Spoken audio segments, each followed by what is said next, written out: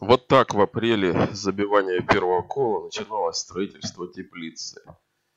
Тут некоторые гады, которые упрекают меня, что я ни хера не делаю руками, ну, они просто не смотрят канал, имеют чисто теоретические представления о жизни и работе на Земле, на Дальнем Востоке, о дальневосточном гектаре, как он дается. Ну и вот поэтому я делаю вот этот фильм.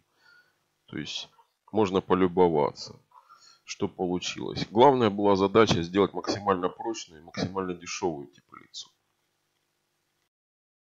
По прошествии трех месяцев можно констатировать, что эксперимент удался с постройкой вот этой вот теплицы по очень своеобразной технологии.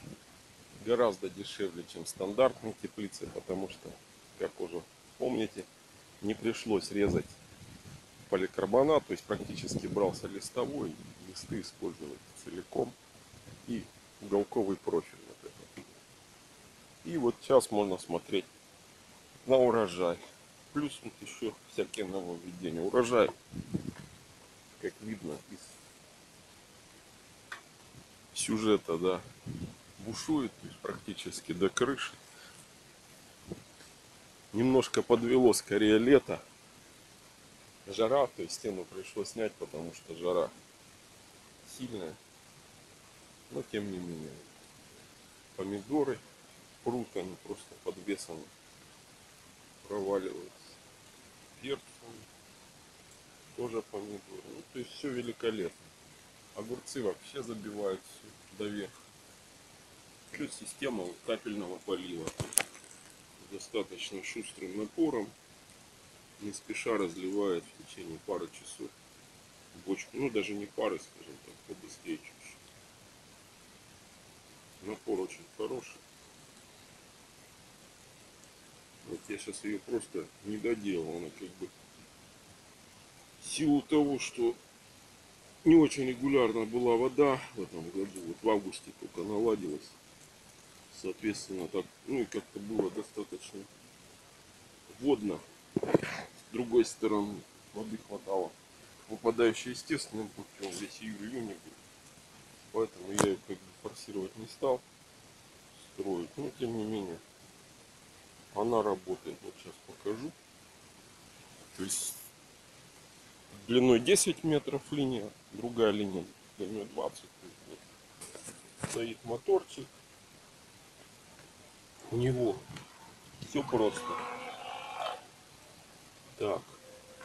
Чуть-чуть я тут глотнул воздух. Ну, как бы шланг заборный, то есть плавает вот эта станина, соответственно, она по уровню воды и уходит с нее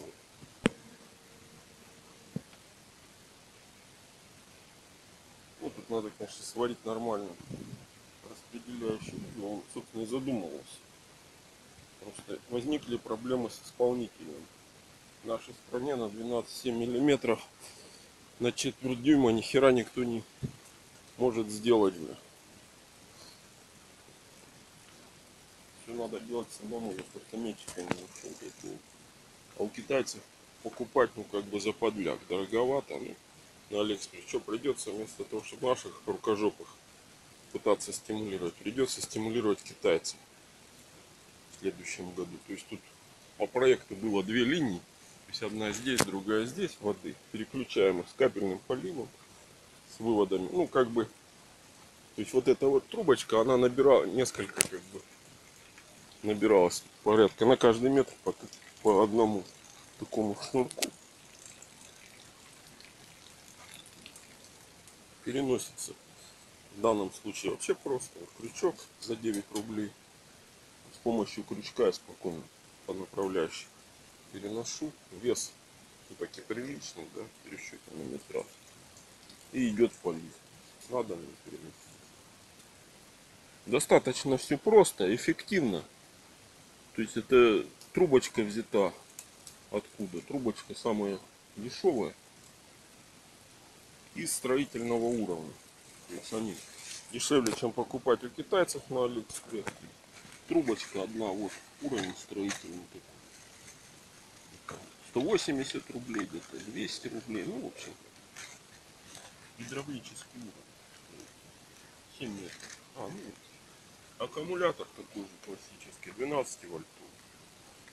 Так что, кто хочет скопировать саму идею, то есть у меня в перспективе будет следующая теплица в этом году. Я фундамент сделал, а на следующий год еще одну такую же соберу. Ну, Как бы бралась изначально модульная конструкция, то есть посмотреть, как она себя зарекомендует. Зарекомендовала хорошо, но по цене она обходится в два с половиной раза дешевле, чем покупать вот классическую такую вот гнутую. Что как бы очень даже неплохо, если критичные деньги, да, материал. Ну и просто конкретно мне такие объемы нафиг не нужны большие. Поэтому собственно, не было цели строить гигантскую какую-то теплицу.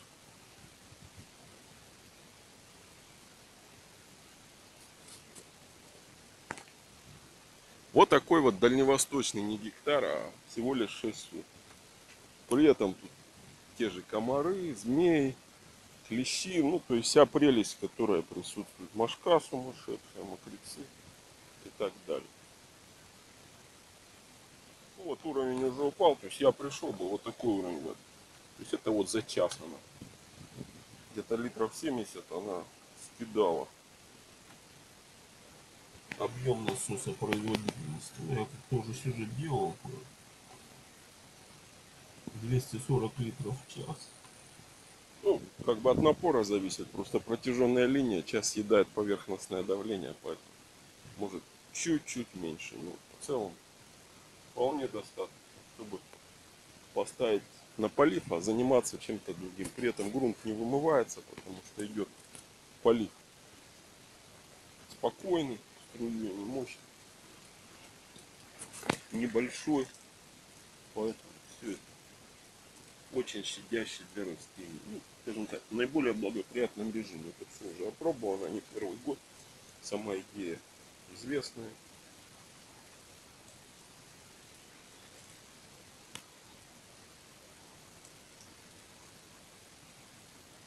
Растениям нравится. Растения отвечают урожаем. Все это забота.